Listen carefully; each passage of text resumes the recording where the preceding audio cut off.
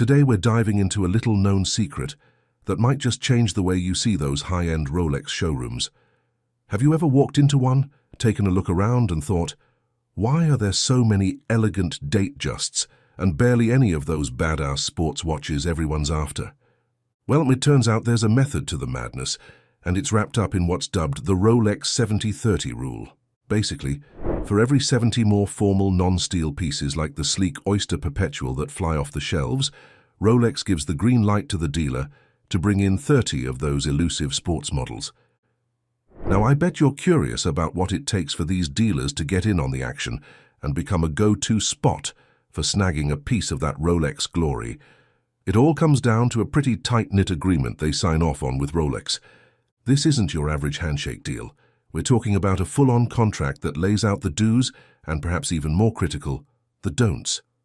But what exactly is hiding in those pages and how does it affect where and how those shiny timepieces find their way to your wrist? Let's dive into that and uncover the secrets behind the sparkle and prestige of those boutique displays. Hey everyone, welcome back to Opulent Oasis. If you're intrigued by our content, make sure to hit that subscribe button and tap the notification bell so you never miss out on our latest scoops. So you're thinking about getting a Rolex, right? Well, stepping into the world of these iconic watches can feel a bit overwhelming, but fear not, because that's exactly where authorized Rolex retailers come into the picture. They're your personal guides in the luxury watch universe. They've got the skills, the knowledge, and all the insider info to help you sift through the options, understand the nitty-gritty of each piece, and make a choice that you're going to be proud of for a long, long time.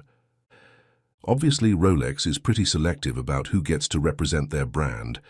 These authorized retailers, or as they're officially known, ORRs, are given the nod to showcase and sell Rolex watches, promising to keep the lux and glory of the brand shining, no matter their location. However, Rolex keeps a tight lid on the number of these authorized hotspots to ensure that exclusivity and excellence remain the name of the game. And when it comes to where you can pick up these prestigious timepieces, it's all about the creme de la creme of jewelry stores or those certified Rolex jewelers, also known as ORJs. Rolex is all about maintaining high standards, so if any retailer starts to drop the ball, they could find themselves out of the Rolex circle. But don't worry, such decisions won't throw a wrench in the works for other locations under the same jeweler, thanks to the way their agreements are set up.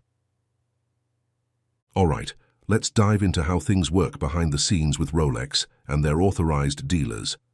When it comes to stocking up on those shiny Rolex watches every year, dealers have to follow a pretty specific playbook for ordering from Rolex.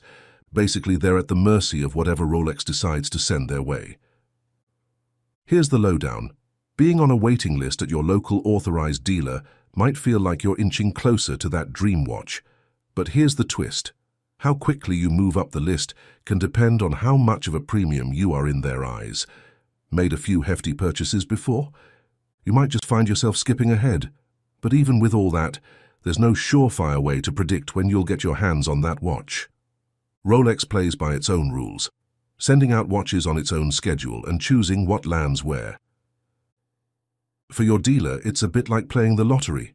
They put in their order, but they don't really know what they're getting until the shipment arrives. And whatever shows up, that's what they've got to work with for the year. It's all part of the game, repeating year after year. So when you pop the question to your dealer about what new stock they're expecting, you're likely to get a shrug in response. They're finding out along with you, which adds a whole layer of mystery to the whole process. And here's a fun fact. Rolex even decides on the allocation after the watches have already been sent out. When it comes to stocking up on those Lux watches, the dealers are kind of in a bind. Rolex doesn't promise to fill every order that comes in. Basically, they call the shots, and the dealers just have to roll with it. That means your go-to dealer is pretty much in the dark about what they're getting until it actually shows up. Trying to get a commitment on that watch you've been eyeing by calling in advance. That's a no-go. And if a dealer put in a request for a specific model but it never arrives, well, that order just disappears into the ether. And hey, if you're curious about more insider info or have questions, don't be shy. Drop us a comment down below. And if you're feeling extra supportive, consider subscribing for some cool perks. Now, on to how Rolex likes to keep a tight grip on their distribution. It's all about controlling the flow of those precious timepieces. What does this mean for retail? Well, it boils down to the price tag. Authorized dealers are locked into selling at the MSRP, or the manufacturer's suggested retail price. This is Rolex's way of keeping things consistent and exclusive across the board. You see, hiking up the price beyond the recommended retail price is a big no-no.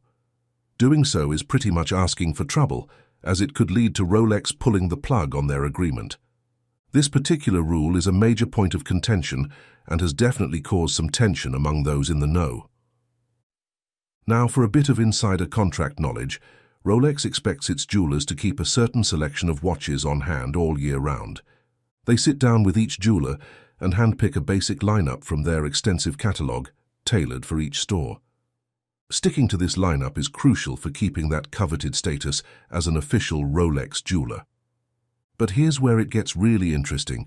Rolex has the right to drop in for a surprise visit.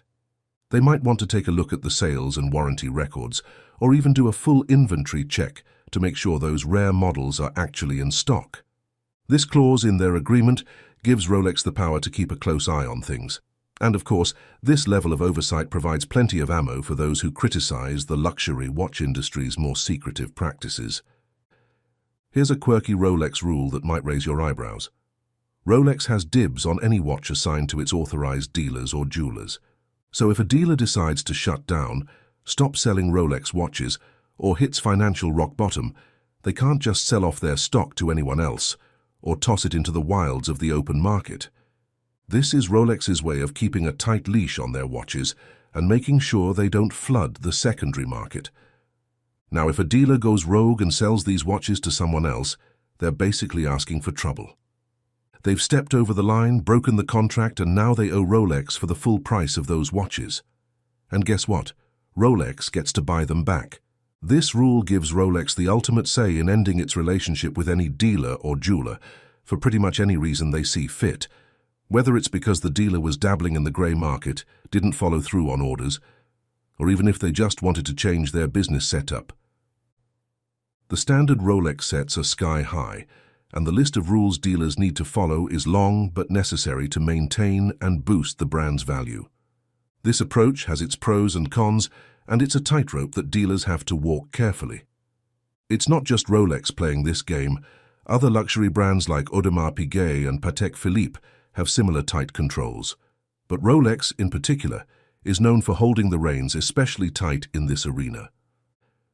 And that wraps up our deep dive into the world of Rolex's authorized dealers. We hope we've shed some light on some of the mysteries surrounding them. Thanks for tuning in. If you found this video helpful, don't forget to hit the like button and subscribe to our channel for all the latest Rolex insights. We'd love to hear your thoughts, so drop us a comment below. This is Opulent Oasis signing off.